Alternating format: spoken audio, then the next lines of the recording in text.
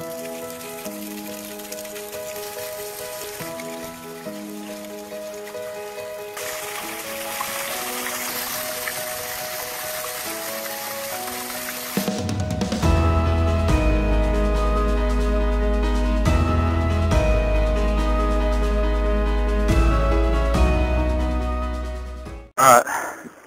here I'm at the creek.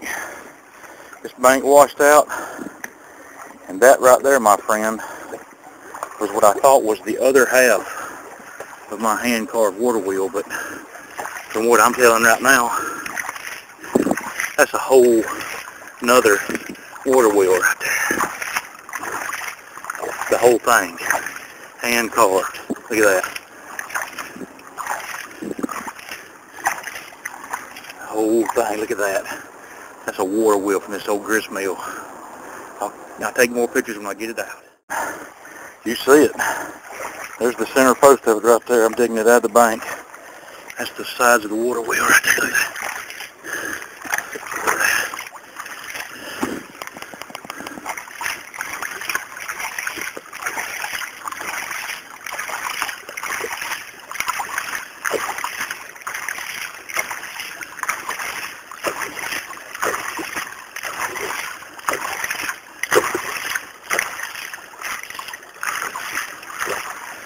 At.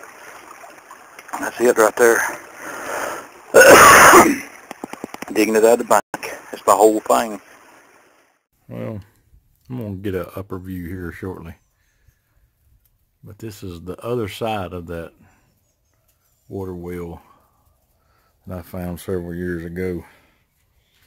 If you look right here, I flipped it over and got this side stained good. And you can see it's two pieces. And right here you can see there's a peg, there's a peg. And this is the section right here that goes in. I guess it'd be a wedge that goes like this with holes in it all the way through. You can see the rounded. The sun's kind of, just it's that time of day. You see this would have been the bottom just because the way the channels are cut. And you can see it's all hand carved.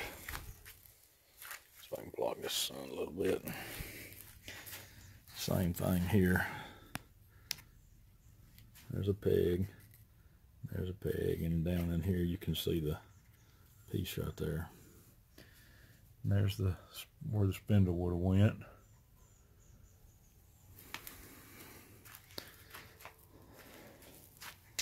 As you can see, the contour. Can you hear it?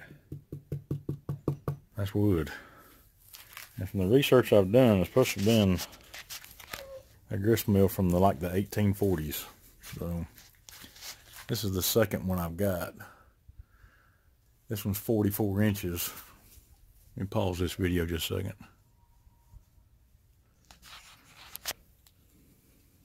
Go back to the video. This is a bird's eye view right here. Sorry about all that. But that one's 44 inches across. The first one I found was 33 inches. And instead of getting both halves when I had a chance, I said, and as you can see, there's the other one. It's the 33 inches. And uh, didn't get, I did not get the uh, other half out when I had the chance. And you can see what happens. I only got half of it. But you can see there's one of the pins right there for this sun. Same thing here. But that's 33 inches right there.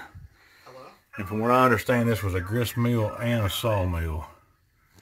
You can see this wood. This would have been the top half where the water would have flowed down. This would have been a horizontal wheel, like a, a, tub, a, a water turbine, basically. The first water turbine. All right. And might as well include this on this video. This is a buck that I killed this year, 10 point. Get him balanced right here if I can. This is a very rare, what you're fixing to see right here. This one was, uh, this is an upper canine tooth on a deer. And the research I've done, these deer were uh, ancient Asian deer that were brought over this way or came across somehow or another. And they had upper canine teeth. And as you can see right there, he got one. I got some others. It looks like it would have been some, like right there. There's nothing there. I got a couple more that's come from the farm out there. It's like that. But you can see, he has got him an upper canine tooth.